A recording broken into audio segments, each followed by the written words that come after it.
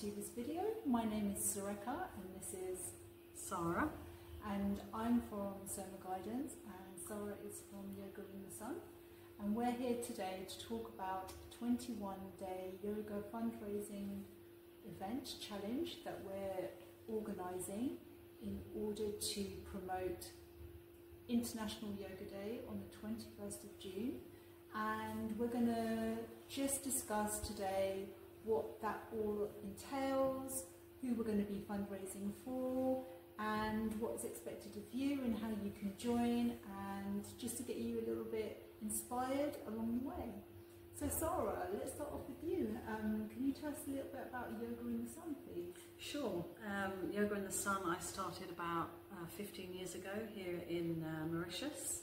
Um, I trained in London uh, with the British School of Yoga and I've been practicing yoga for about 20 years but teaching yoga for about 16 years now.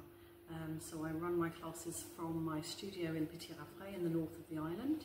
So I'm running uh, Hatha yoga classes, pregnancy yoga classes, mindfulness yoga, uh, meditation and also aqua yoga which is a new addition to uh, the practice.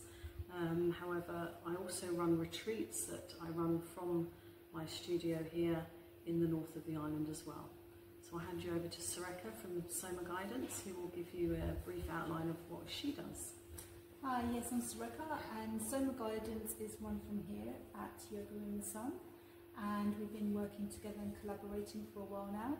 I run from here Reiki sessions, Oracle card readings, Thai yoga massage, and yes, um, also shamanic journey work as well.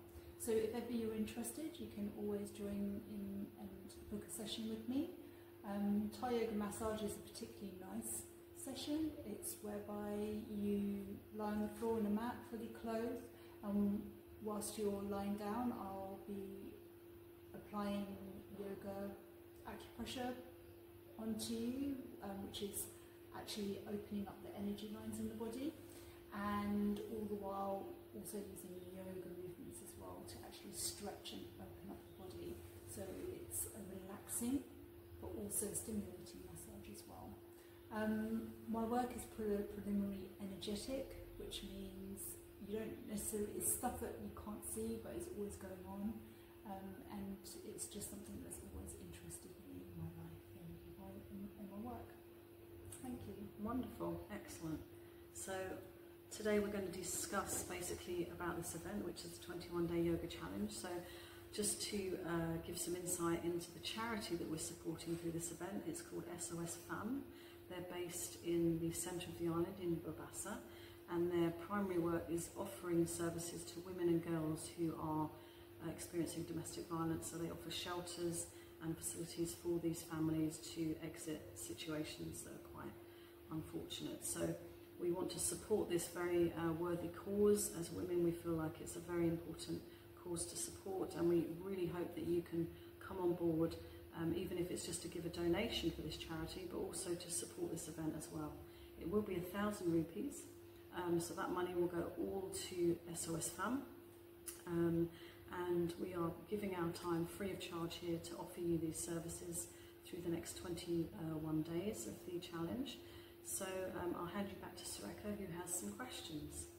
Yes, um, you mentioned that there's going to be a contribution. What is the deadline for actually registering? So the registration date will be, uh, the last registration day will be the 31st of uh, May. So up until this point, till then, we would like you to register. So that means to pay the fee that's chargeable and then obviously you can sign up to all of the uh, videos that we're going to be posting online for you to start your sun salutation journey. Yes. And why a sun salutation challenge?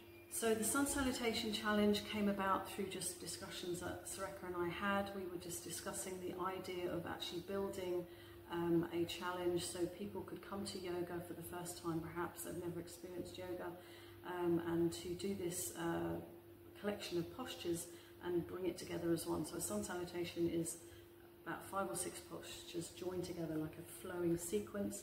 So your mind, body and breath are all together, very holistic, but also very invigorating and also stretching the body, uh, creating more flexibility in the body and stretching out obviously hamstrings, hips, uh, all the tight areas like shoulders. If you do sit a lot at a desk, you will be having pain in the shoulders, perhaps, or the lower back.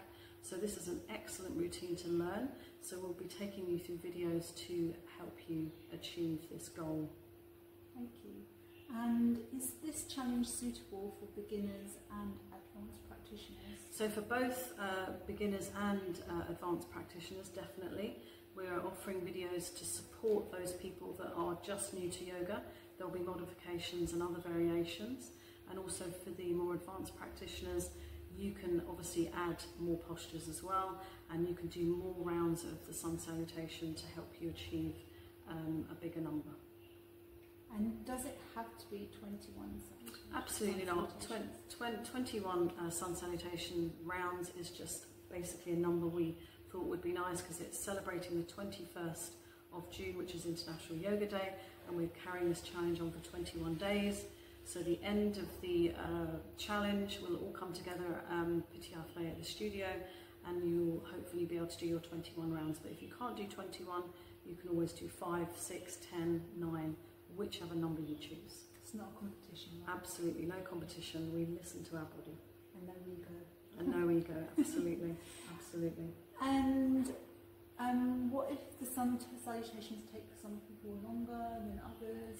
Yeah, I mean, again, you know, if it's longer or shorter, your rounds, then that's fine. You can do less or more, or just sit quietly, meditate, uh, relax. Um, you know, it's really personal. Everyone's on a different uh, time capacity, so, you know, different ability as well, and different fitness level.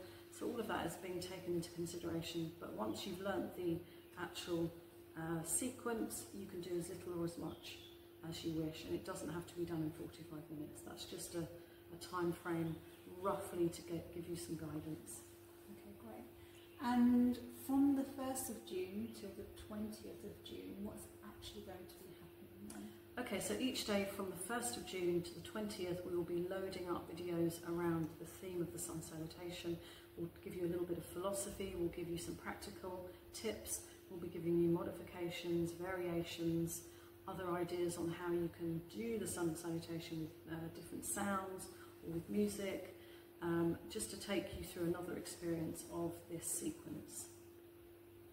And how can practitioners monitor their progress as they're going along during that period? Excellent, that's a good point. So progress, obviously, you would probably want to see over the course of the three weeks how you are progressing. So we're going to upload a PDF file, uh, like a form that you can download, and you can monitor your process, uh, progress sorry, on that form just by filling in various question and answers and tracking that progress. So if you have a goal, maybe set that goal at the very beginning, and then obviously as you go, you can monitor that progress.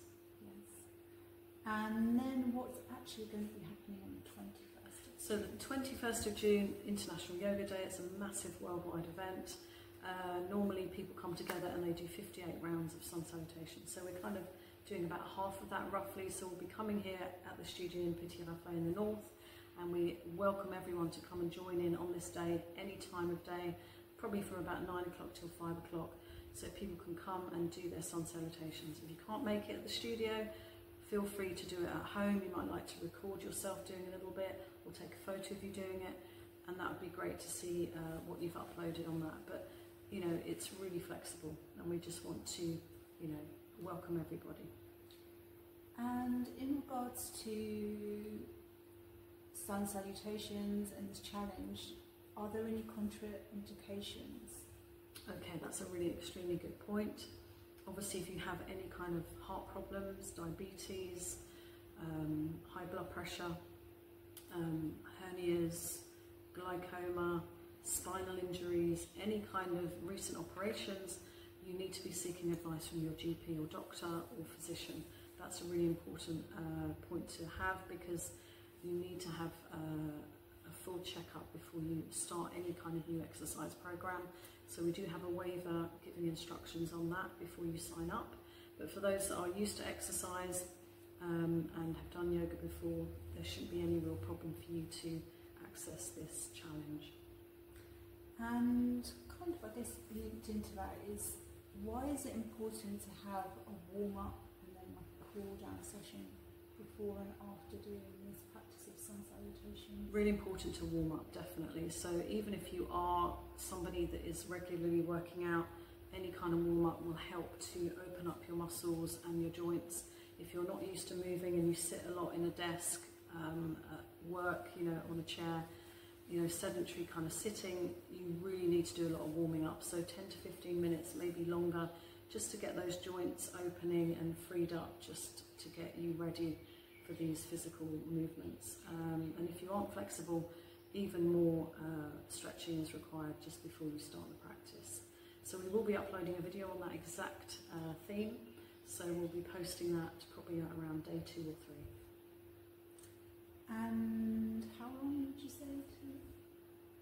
Uh, 15 to 20 minutes roughly, but if you really are strapped on time, 10 minutes is better than nothing. Okay, great.